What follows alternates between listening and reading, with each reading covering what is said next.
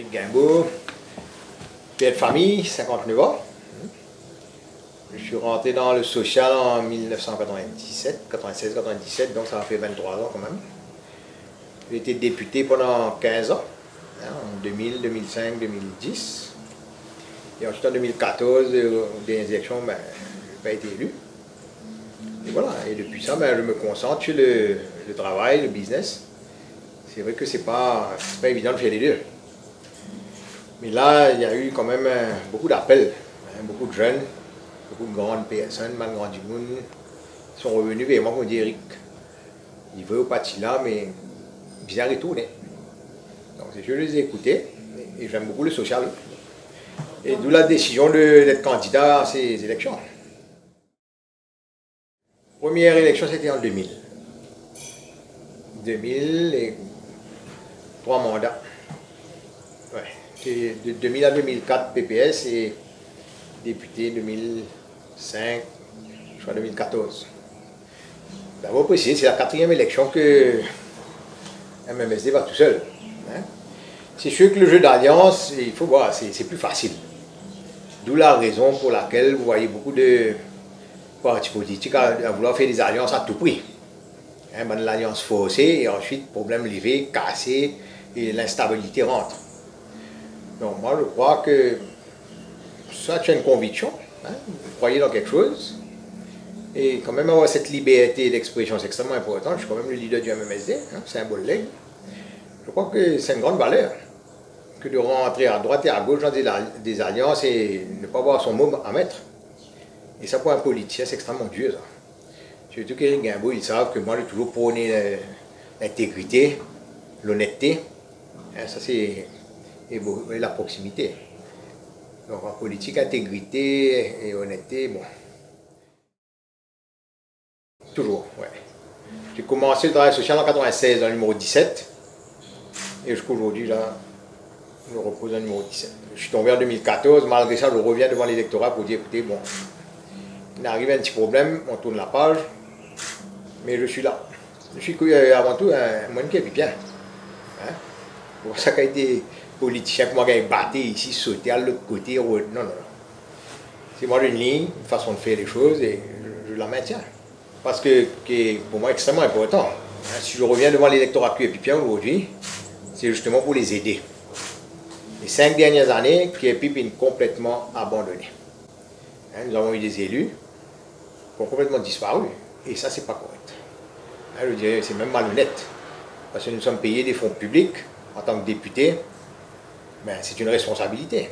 C'est comme aujourd'hui, euh, si vous avez un groupe, une responsabilité envers le groupe, Demain, vous êtes un député, vous, êtes, euh, vous avez une responsabilité envers vos mandats.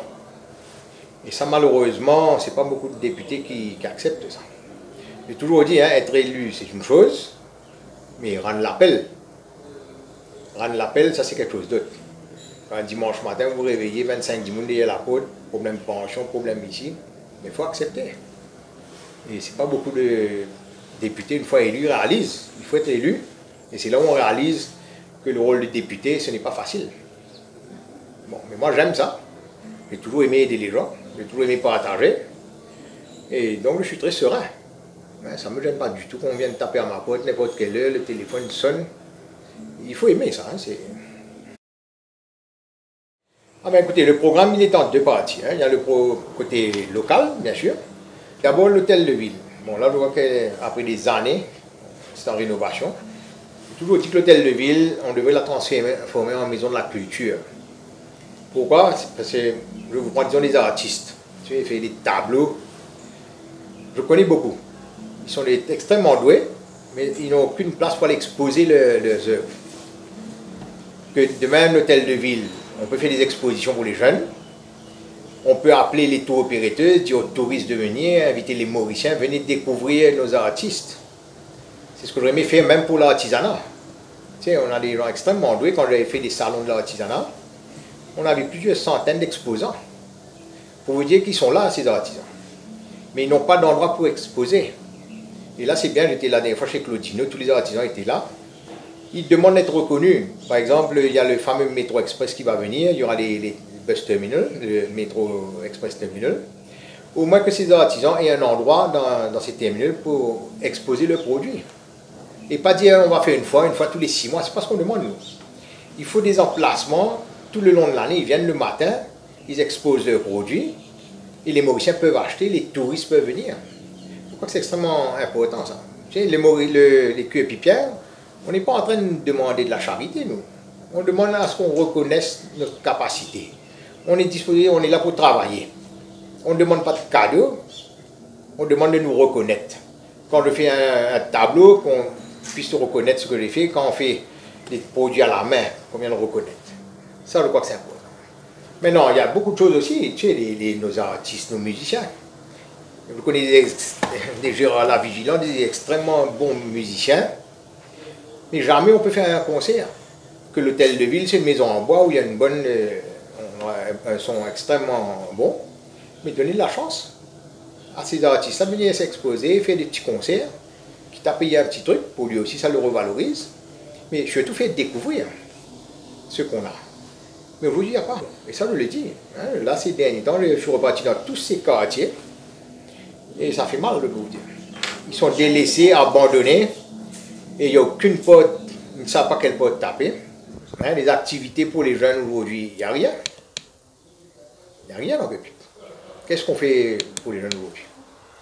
Que nous, on propose de venir créer des petits espaces, on dit, pour les, les, skates, remettre en place les tournois, les compétitions de volleyball, basket. Nous avons des équipes féminines au niveau du basket, au niveau du volleyball, puis bien zéro. Donc il n'y a jamais de compétition et ben, automatiquement tout, tout, tout s'arrête là. Et les jeunes, ce qu'ils veulent aussi, c'est d'avoir une ville propre, écologique. Hein, mais ce n'est pas le cas aujourd'hui. Donc moi je pense, je sais comment le faire, j'ai l'expérience quand même. Hein, vous dis, hein, ça fait 23 ans que je suis dans le social et dans la, politique. Je connais les aspirations des jeunes et je sais comment faire aboutir tous ces projets.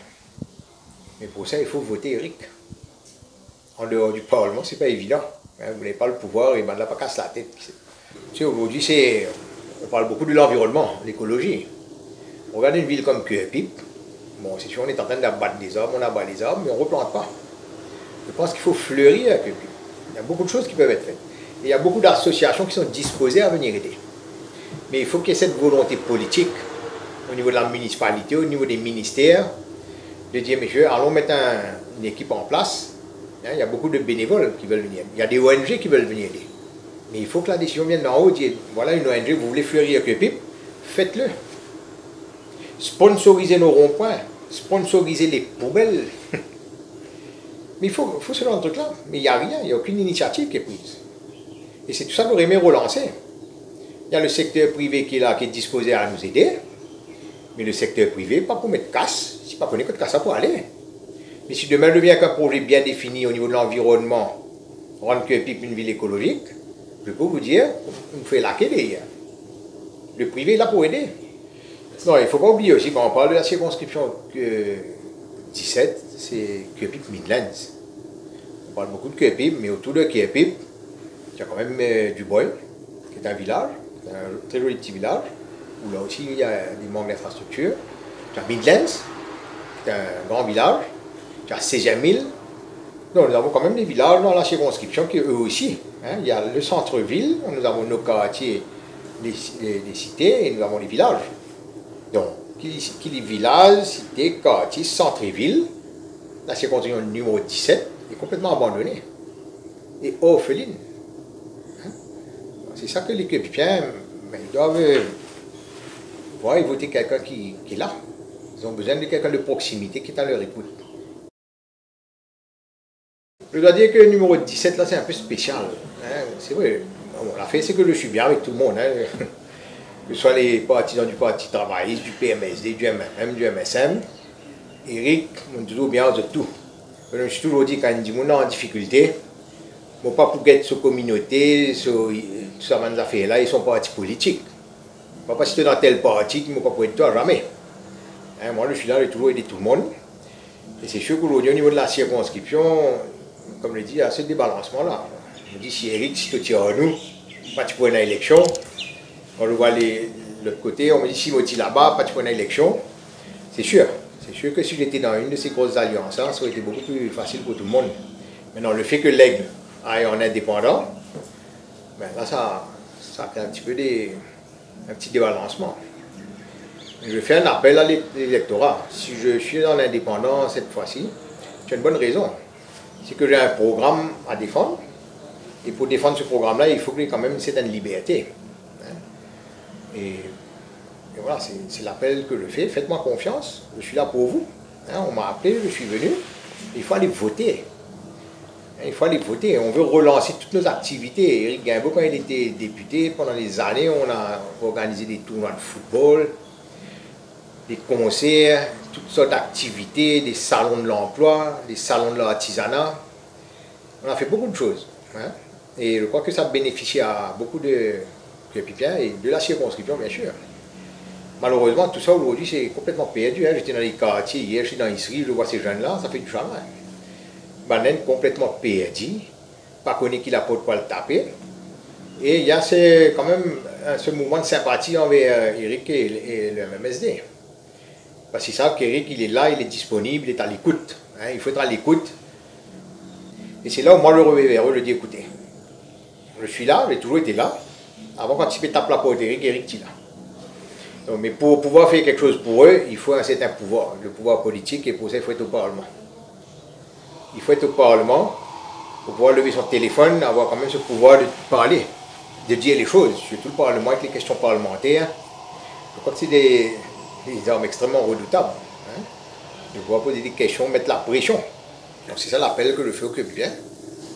Hein faites euh, confiance, je les fais confiance, c'est pour ça que je suis là, je reviens vers eux. Mais là, il faut aller voter. L'important, c'est de voter Eric. Et après, aurons leur travail là.